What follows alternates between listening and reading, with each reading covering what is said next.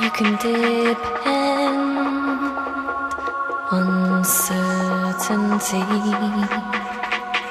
Count it out and weigh it up again. You can be sure you've reached the end, and still you don't feel the end.